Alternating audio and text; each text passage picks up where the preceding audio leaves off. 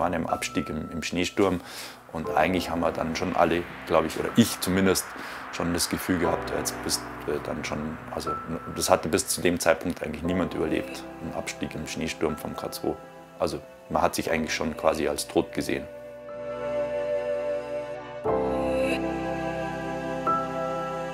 Also es gibt Momente, wo die Angst zur Panik wird. Und das sollte man eigentlich vermeiden. So viel Voraussicht sollte auch ein Bergführer haben.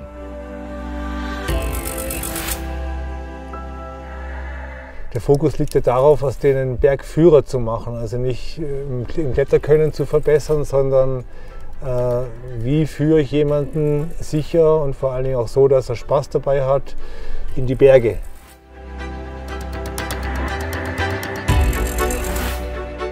Was die Übersicht und was ähm, einfach Führungstechnik und äh, Taktik anbelangt, da komme ich voll an meine Grenzen, weil ich das bis jetzt ja auch relativ wenig oder so in dem Rahmen noch nicht so viel gemacht habe.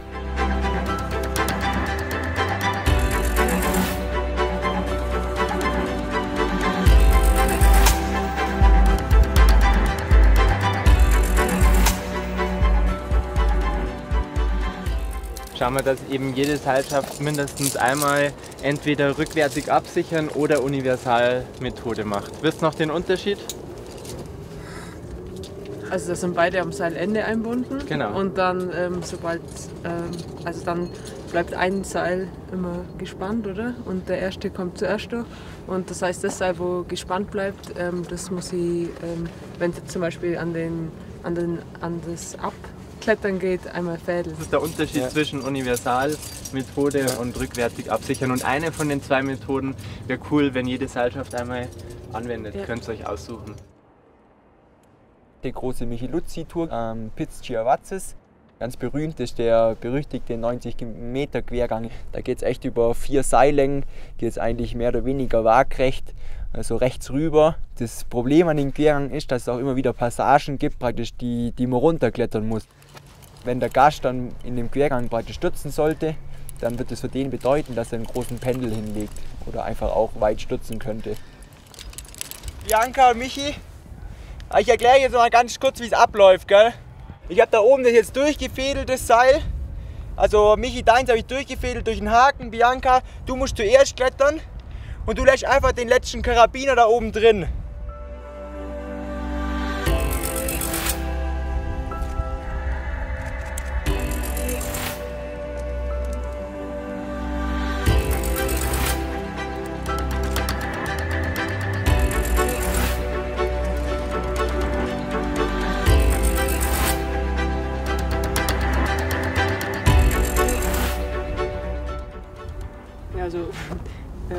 Werde die auf jeden Fall mal wieder als Bergführer für so Quergänge nehmen. Klar, also ich fand das voll angenehm. Was mir voll taugt hat, ist, dass mein Seil eigentlich immer einzeln in der Echse drin war. Ja. Und dann habe ich einfach mein Seil ausgehängt und bin eigentlich gleich wieder zum Klettern gekommen.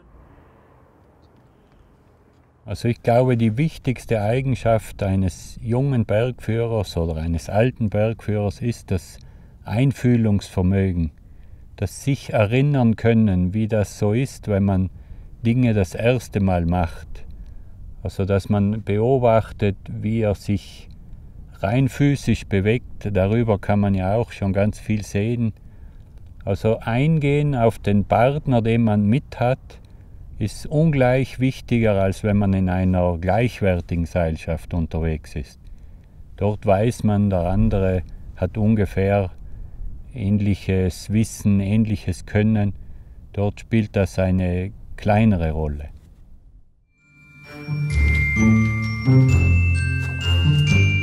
Also wir haben da die Technik-Demo-Prüfung und haben drei Routen insgesamt eingehängt. Die erste hier, da wird es darum gehen, dass ihr No-Hand-Rests demonstriert. Zweite Tour, da wollen wir sehen, unbelastetes Antreten.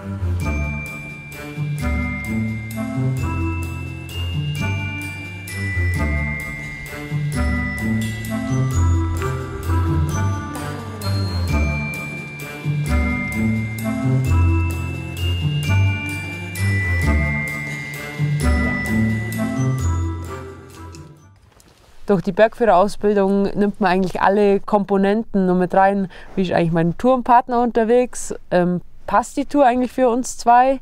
Wie schaut eigentlich das Wetter aus? Muss man da auf irgendwas Acht geben? Ähm, haben wir die richtigen Materialien oder halt die richtigen Absicherungsmittel dabei?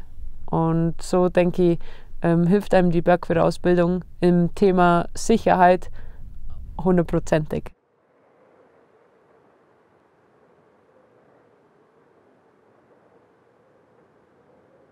Ja, und ich denke, dass der Profilort unter der Felsinsel da rechts, dass der vielleicht echt nicht so schlecht ist. Ja. Warum? Ja, weil da wahrscheinlich einen Übergang von wenig zu viel Schnee haben, Ja. kann man sondieren. An der Felsdings dran, ja. Und Ähm, außerdem, zweiter Punkt. Ja, erst von der Exposition passt halt gut. Ja. Und Höhenlage passt gut. Was? Wie dritter Punkt? Ja, er ist sicher. Er ist sicher. Nur ist mir uns nicht der Hang auf den Kopf. Jawohl, genau. Weil wir machen jetzt eigentlich hier, schauen wir, dass wir rausfinden können, ob wir so einen Bruch initialisieren können. Das machen wir mit dem CT, den machen wir eigentlich am Anfang. Das ist der kleine Blocktest und danach macht man nebendran ECT. Da schaut man, ob der Bruch sich ausbreitet. Genau. Genau, und wenn wir jetzt das mit dem La warum machen wir es noch? Weil Um unsere Informationen zu verifizieren. Genau, Informationen und den Lawinenlagebericht anpassen auf die örtlichen Verhältnisse.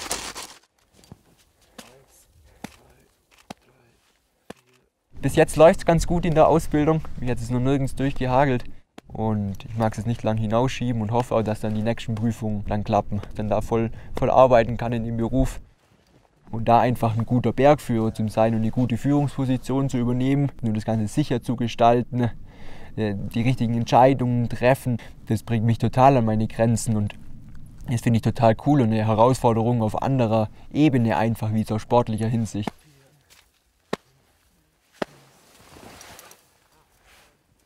Und ich denke, dass das auch eine total coole Weiterentwicklung zu, äh, zu einer persönlichen, also zu einer sportlichen Leistung darstellt.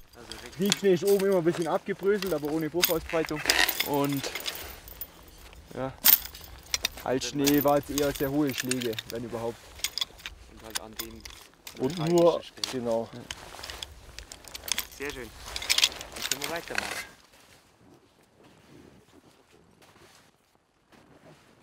Das Wichtige ist einfach erstmal eine, die Gefahren zu, zu sehen, die Gefahren zu erkennen, dann die Eintretenswahrscheinlichkeit irgendwo abzuschätzen. Welche Maßnahmen habe ich, um das Risiko zu minimieren?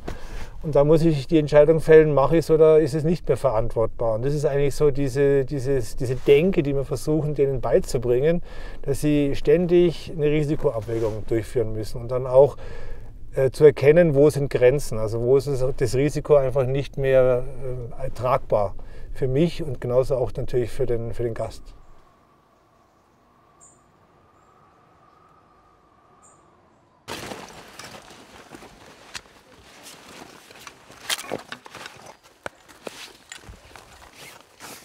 Finn kenne ich zum Beispiel wirklich schon sehr lang. Der war schon mal bei so einem Nachwuchscamp, äh, da war er glaube ich 15 oder 16.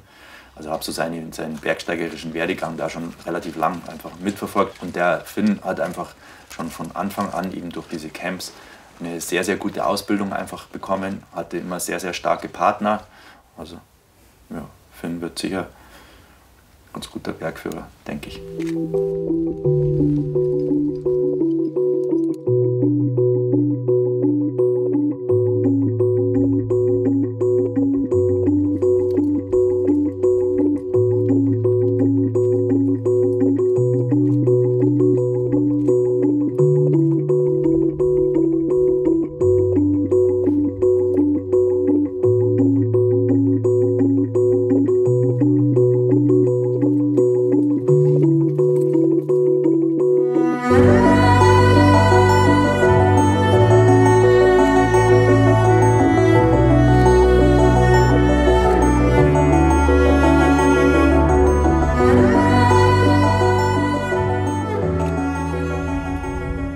Einerseits ist es für mich ein sau cooles Gefühl, wenn ich mich halt irgendwo äh, da so hochgearbeitet habe und dann komme ich oben am Gipfel raus, weiß, okay, ich habe es echt geschafft. Zum anderen, was mich auch immer wieder dazu halt bewegt, sowas zu machen mit guten Freunden. Man hat so ein bisschen so Emotionen auf einer ganz anderen Ebene. Man hat ein Verhältnis, führt man vielleicht auf einer ganz anderen Ebene wie jetzt mit, mit anderen Freunden.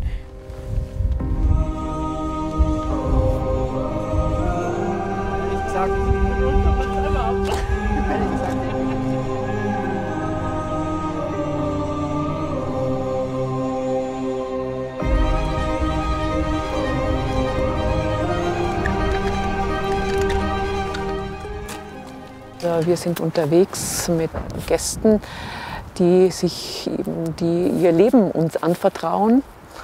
Und äh, wir haben also einfach wirklich große Verantwortung. Die Killerfrage ist immer, würde ich mein Kind diesem neuen Bergführer mitgeben? Und äh, das ist oft mal das Zünglein an der Waage.